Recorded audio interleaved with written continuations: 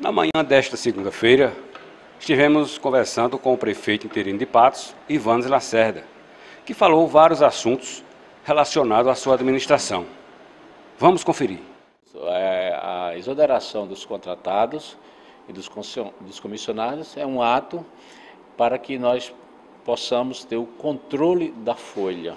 É? Nós, nós, temos uma folha hoje que foge, que, que é, é violenta a lei de responsabilidade fiscal. A lei de responsabilidade fiscal foi criada exatamente para que o gestor tenha moderação com as contratações. Essa impõe essa é, a lei de responsabilidade fiscal impõe limite, mas ela, ela o, o limite ela já tem um limite prudencial, onde a lei te mostra, dá, te dá um cartão, não um cartão vermelho, já te dá um cartão amarelo. E a ultrapassagem de, desse limite, dos 54%, é, com mais 6 do, do Poder Legislativo, é o cartão vermelho. Aí, sim, já tem é, sanção. O município já passa a ser penalizado com a perda de repasses do governo federal.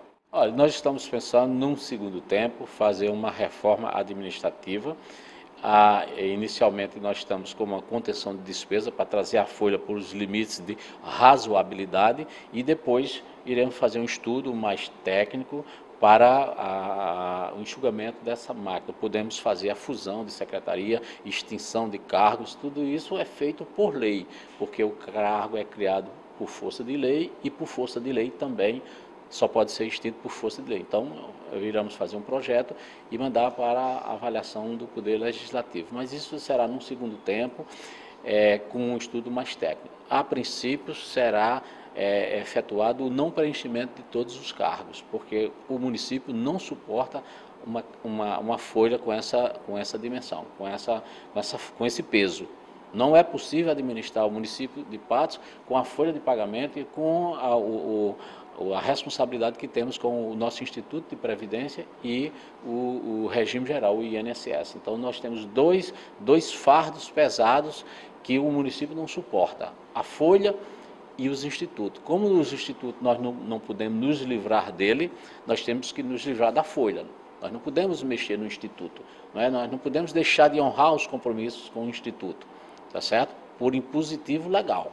Mas nós podemos é, nos livrar de uma folha pesada e deixar uma folha nos limites da razoabilidade, nos limites da legalidade, mas mais do que legalidade, da conveniência do momento para o município. Eu não estou com muita pressa de gastar, tá certo? Estou até com, com muita preguiça de gastar. Então nós vamos fazer um estudo técnico, um estudo bem aprofundado e iremos preencher é, paulatinamente com foco na, na, nos serviços essenciais de saúde e de educação. Por exemplo, eu tenho que nomear, é, nós não temos é, como efetivo número de médicos suficientes para a demanda da saúde. Então, nós precisamos contratar enfermeira, contratar médicos, é, fisioterapeutas e toda, toda é, a, a, linha do, da saúde. Então, nós precisamos ter prioridade nos serviços essenciais. Então, vamos começar pelos serviços essenciais, mas com grande redução aliás, com muita redução. Doutor Ivanes, a questão aqui da Câmara Municipal. O senhor foi vereador. Como é a relação hoje do prefeito interino Ivanes com os vereadores, já que outros gestores teve problemas, né? Como será o seu relacionamento hoje? Olha, o nosso relacionamento é o mais harmonioso possível. Um relacionamento harmonioso, mas pautado, montado na ética, na moralidade, na transparência, na publicidade e principalmente na moralidade pública. É um, eu, eu sou oriundo do Poder Legislativo, sou vereador há 20 anos, cinco mandatos consecutivos, e entendo que o Poder Legislativo, a distância do Poder Legislativo do Poder Executivo será apenas das, das, do, do, da física, né? A prefeitura encontra-se aqui no, no, centro da cidade e o Poder Legislativo no Belo Horizonte. Mas a, essa diferença será apenas nesse sentido, mantendo a harmonia e, e, e, a independência, assim como está previsto é, da forma legal na Constituição. A questão aqui das, dos cargos, é, cargo comissionado. Como o senhor vê a questão dos aliados, já que o senhor hoje é aliado do deputado estadual Nabo Vanderlei? E também tem uma participação muito forte com os vereadores. Como será distribuído ou não terá essa distribuição de cargos para os seus aliados? Não, não terá distribuição exclusiva de cargos para aliados. Os cargos serão preenchidos é, é, utilizando o critério da eficiência.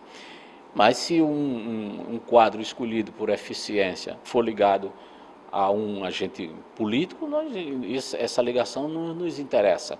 Lógico que o cargo é um cargo político, né? Eu tive uma eleição por agentes políticos, mas não haverá essa relação promíscua entre poder executivo e poder legislativo. O preenchimento dos cargos será, será obedecido o critério técnico. E eu não me preocupo com nomes, eu me preocupo com resultados. Entendeu? Um, um quadro bom, um quadro técnico que não, técnico que não apresentar resultado, eu não bato, não bato a pestana para afastá-lo e substituí-lo. Nós, nós buscamos a eficiência. Não me preocupo com nomes. O nome é, que o, é o que menos interessa e a quem ele é ligado politicamente. Agora eu quero resultados, eu quero metas a ser alcançadas. E essas metas serão monitoradas permanentemente. Sobre a questão do ex-prefeito interino de Sala Júnior, ele poderá ir assumir uma secretaria no seu governo?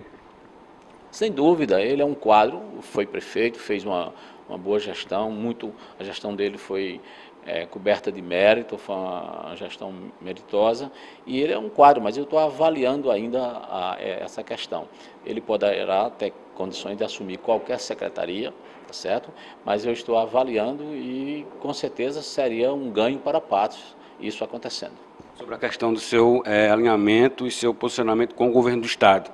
Qual a participação do governo na administração Ivantes? Olha, é, será uma administração, da nossa parte, iremos buscar, que cabe a nós buscar essas parcerias. O governador João Azevedo foi muito bem votado em Patos, foi muito bem acolhido pela população e eu tenho certeza que ele não nos negará apoio nesse momento difícil que Patos vive. Vamos através do, dos deputados, o deputado Nabu Vanderlei, deputado Érico, deputado Hugo Mota e todos os agentes políticos vamos buscar no governo parcerias é, para que possamos administrar. Nenhum governo vive sem parcerias. Até mesmo o governo do Estado, o governador João Azevedo, vai a Brasília buscar parcerias com o governo federal.